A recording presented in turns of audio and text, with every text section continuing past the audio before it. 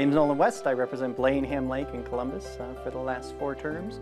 It's been pretty good so far. I've really enjoyed it. Uh, but outside the legislature, I work as a videographer, and uh, personally, I'm just a regular old massive nerd.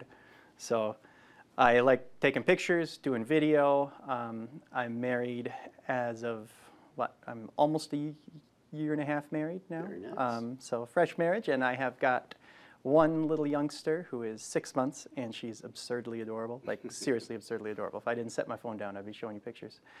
And uh, yeah, outside the legislature, it's in a standard nerd fare, computers and whatnot.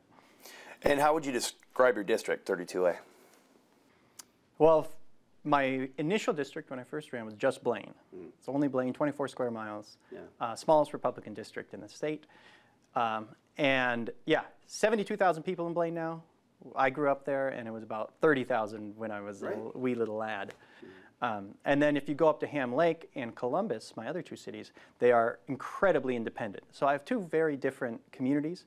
Blaine is a suburban community that's very densely packed, 72,000 people.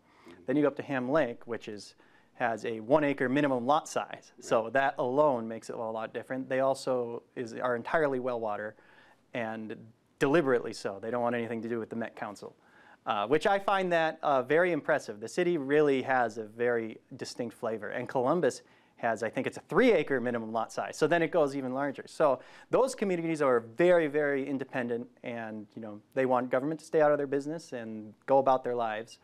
And Blaine is a little different to where it's such a growing community, it needs a lot of engagement with government. And 72,000 people is naturally going to lead to that. So, yeah, it's a very, it's a big suburb, 10th largest city, and then two cities that are very like exur- exurban, I guess, I think.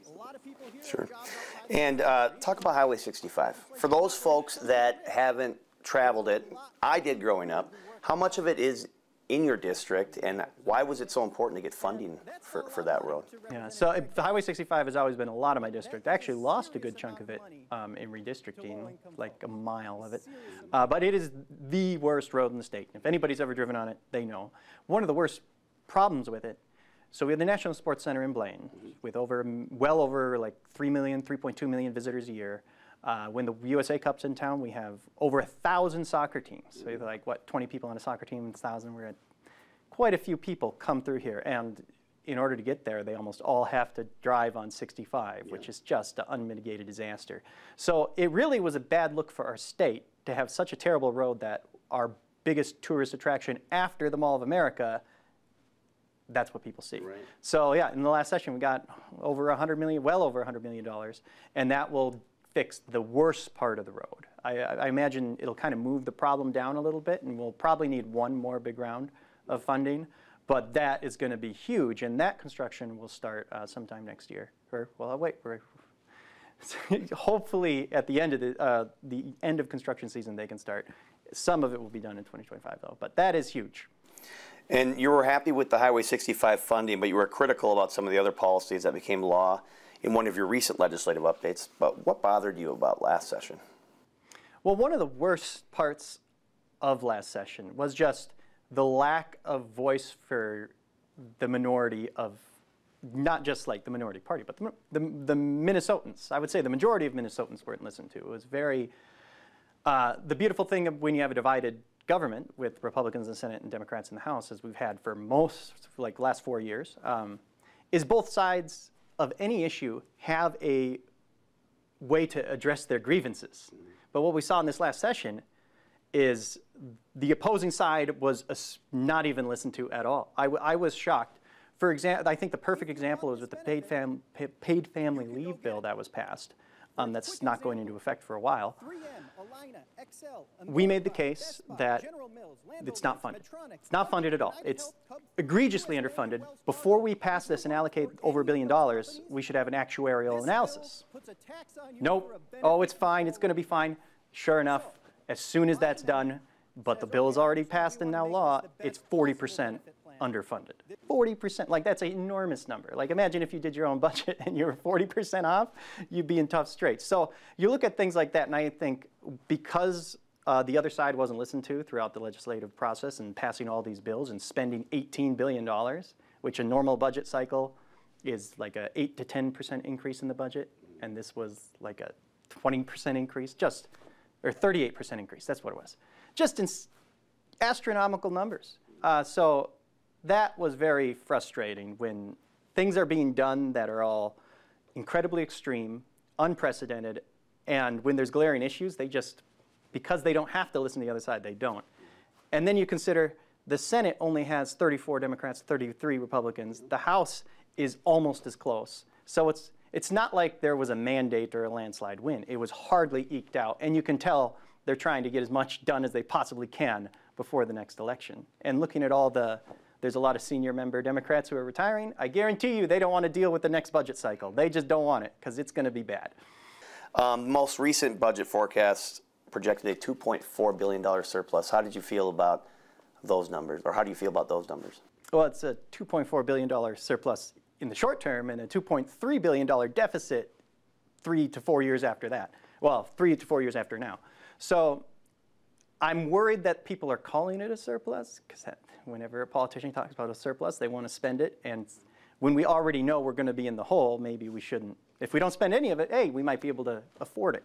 And that was one problem with the budgeting in the last cycle is rather than doing it as we've always done it, they, a lot of programs are funded in little increments, one-time funding for, say, four years. And then there's this massive drop-off. And that's going to create a nasty issue to deal with when you're looking at a four to six billion dollar budget deficit or whatever we're going to be at. Um, a recession will come eventually. It's amazing that it hasn't, and I'm very worried that like our state budget reserve is nice and juicy right now, but it, I, it, it goes quick once we hit hard economic times, which I mean will eventually happen. And you serve on the House Capital Investment Committee. First, did you make any trips around the state to look at some potential projects in, in the interim here? I did last year, Okay. um, but not this year. I was uh, full-time baby duty. Well, I, I, I suppose your hands were full, but well, I guess what do you expect for a bonding proposal this year? What, what would make sense for you? I think passing any bonding is going to be incredibly difficult, more difficult than it normally is, uh, just because of the last budget was $18 billion spent. It's like, at some point, we have to stop spending money. Although there's a lot of good things to bond for, I would love if the bonding bill was just about things Minnesotans actually need, like wastewater infrastructure, roads and bridges. But inevitably, it starts funding like comedy centers and ice arenas and swimming pools. And it's like, well, these, these are nice things, but these aren't what we should be bonding for as a state. So assuming it's as it normally is, I think it's going to be pretty difficult to get anything passed this session. So I guess that's what I'd like to see. It actually be, if it was entirely infrastructure based, we could solve a lot of problems, but it never is because politics. And just finally, what would you like to work on, or what do you think uh, the House should address this year in 2024? Yeah, well, sports betting is going to come up. That's going to be very big.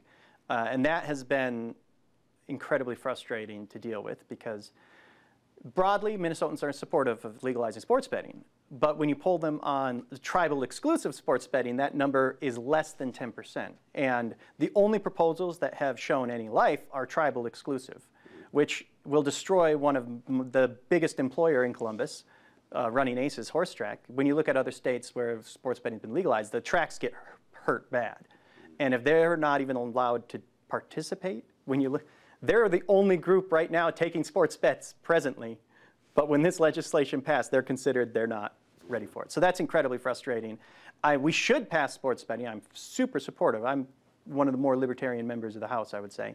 But uh, a tribal exclusive sports betting is not the way it should be done. I mean, they certainly will have their interests protected because they should have their interests protected, but we can't do that at the cost of everyone else. That's, that's inappropriate. So I think that's going to be a big issue.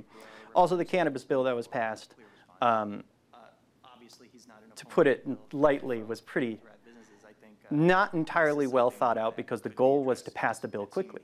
I still voted for it because I support the concept, but it's incredibly frustrating that we've already seen how poorly it's rolling out. The director was hired and then quit two days later. It's been an unmitigated disaster to this point, and talking to them, they sound like I'm not super optimistic that it'll be fixed, but I know there's support, like we can fix these problems. So I'm hoping we can get some movement fixing the problems in the new Office of Cannabis before it becomes a true disaster. I mean, I don't even think people want the job after what happened to the first person at this point. So we those two things I think will be very big this session and bonding. Um, those I think will be the three big issues. I'm, the $18 billion spent kind of takes care of, I can't imagine spending any more money when you spend $18 billion. But, so that's what I see going forward.